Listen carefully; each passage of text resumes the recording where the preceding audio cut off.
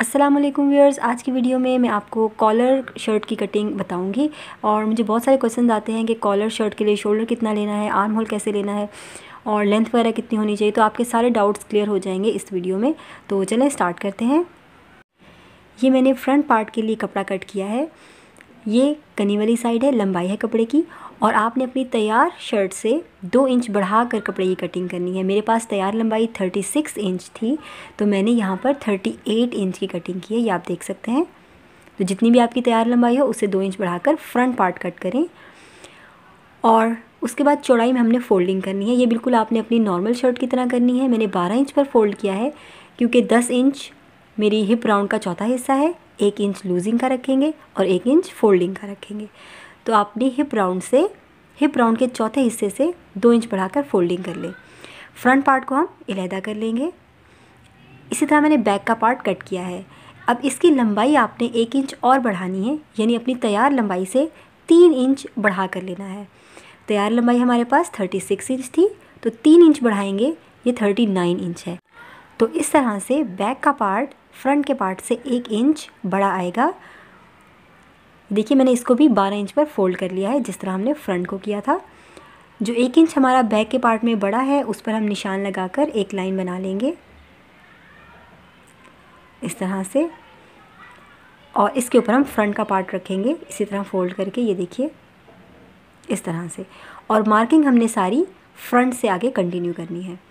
सबसे पहले शोल्डर के लिए साढ़े सात इंच पर मार्क करेंगे। आप अपने शोल्डर का आधा मार्क कर लें। जो नॉर्मल शर्ट पे मार्किंग करते हैं, वही मार्किंग हमने यहाँ करनी है। इसमें हमें आधा इंच या इंच बढ़ाने की ज़रूरत नहीं होती। तो कॉलर शर्ट के लिए भी आपने शोल्डर उतना ही लेना है। और आर्म होल भी अपनी नॉर्मल कुर्ती के लिहाज से लें। मैं यहाँ seven point five inch normal shirt में लेती हूँ, वही मैं यहाँ लूँगी। ये सेवन पॉइंट फाइव इंच में जो आधा इंच शोल्डर स्लोप का होता है, वो शामिल है। यानी आर्म होल सेवन इंच है और आधा इंच शोल्डर स्लोप का है। तो ये साढ़े सात इंच पर मैंने आर्म होल के लिए निशान लगाया और इसको दोनों तरफ़ से बढ़ा लिया है इस तरह। अब फ्रंट शर्ट से चौदह से पंद्रह इंच पर हम कमर की मार्किंग करते हैं। अगर आपका साइज़ बड़ा है तो आप पंद्रह पे मार्किंग करें, अगर आपका नॉर्मल साइज़ है तो आप चौदह पे मार्किंग कर लें। मैं यहाँ फोर्टीन पॉइंट फाइव इंच पर निशान लगा रही हूँ। तो चौदह से पंद्रह के बीच में आपने कमर के लिए एक लाइन लगानी है। और फ्रंट पार्ट से, सारी मार्किंग हम फ्रंट शर्ट से करें आप देख सकते हैं। फ्रंट पार्ट से 21 से 22 इंच पर हम हिप की मार्किंग करते हैं। तो मैंने 21.5 पर निशान लगा लिया है। ये हम लाइंस बना लेंगे, अब हम मार्किंग करेंगे। यहाँ पर हम चेस्ट की मार्किंग करते हैं। चेस्ट का चौथा हिस्सा नौ इंच है। आधे इंच की लूजिंग के साथ मैंने साढ़े नौ इंच पर निशान लगाया है। और एक से डेढ़ इंच पर हम कटिंग का निशान बनाएँगे। कमर का चौथा हिस्सा साढ़े सात इंच है मेरे पास, तीस इंच कमर के लिहाज से और आधा इंच लूजिंग का रखते हुए मैं आठ इंच पर निशान लगाऊँगी और एक से डेढ़ इंच पर हम कटिंग का निशान बनाएँगे। और हिप राउंड का चौथा हिस्सा दस इंच है मेरे पास, इसमें एक इंच की लूजिंग के साथ मैंने ग्यारह इंच पर निशान लगाया है और यहाँ पर हम कटिंग का निशान बना लेंगे। अब हम स्टिचिंग के निशान को मिलाएँगे और इसके लिए मैं आपको एक अहम बात बताती चलूँ। ये देखिए, पहले हम सीधी लाइन बनाएँगे इस तरह। अगर आपके पास कर्व रूलर है तो बहुत आसानी हो जाएगी आपको। अगर आपके पास कर्व रूलर नहीं है तो उस केस में ये देखिए, इस तरह से थोड़ी सी आपने गुलाई देनी है बाहर की तरफ़। और इसी तरह ऊपर को जब आप कमर और चेस्ट को मिलाएँ तो सीधी लाइन लगाकर हल्की सी गोलाई ऊपर के हिस्से में देंगे। यहाँ से थोड़ी सी इस तरह से कटिंग करेंगे, ठीक है? सॉरी स्टिचिंग करेंगे। और साइड पर हम कटिंग के निशान पर लाइंस मिला लेंगे इस तरह।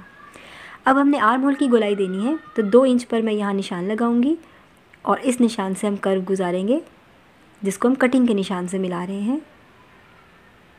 और तकरीबन इस लाइन के सेंटर तक हम गुलाई ले आएँगे। फ्रंट के लिए हम अंदर की तरफ़ एक इंच पर निशान लगाएँगे और इस निशान को ऊपर से मिला देंगे। हमने सारी मार्किंग फ्रंट शर्ट के लिहाज से की है, ठीक है? जो बैक का एक इंच एक्स्ट्रा है, वो ऊपर को इलाहदा है। आर्म होल की कर्व हम इस लाइन से गुजारेंगे इस तरह।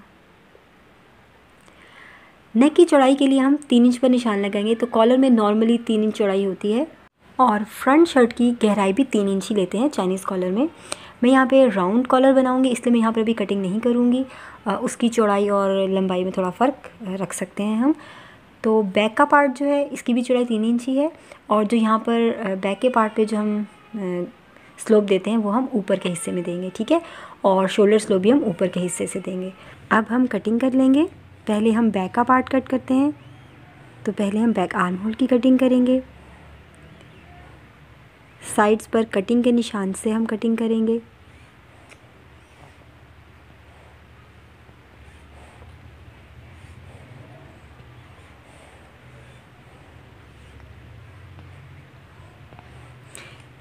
अब हम बैक का पार्ट सेपरेट कर लेंगे और फ्रंट की कटिंग करेंगे। फ्रंट पार्ट पर नेक की चौड़ाई और गहराई तीन इंच रहती है चाइनीज़ कॉलर में और यहाँ पर गोलाई दी हुई है अगर हमने तो हम कटिंग कर लेंगे। मैंने राउंड कॉलर बनाना है, इसलिए मैंने मार्किंग नहीं की थी। अब हम आर्म होल की कटिंग कर लेंगे। इस तरह से हमारी कॉलर कुर्ती की कटिंग हो चुकी है। आई होप कि आपके सारे डाउट्स क्लियर हो गए होंगे। वीडियो अच्छी लगे तो इसको लाइक करें, हमारे चैनल को सब्सक्राइब करें और अगली वीडियो तक के लिए अल्लाह हाफिज़।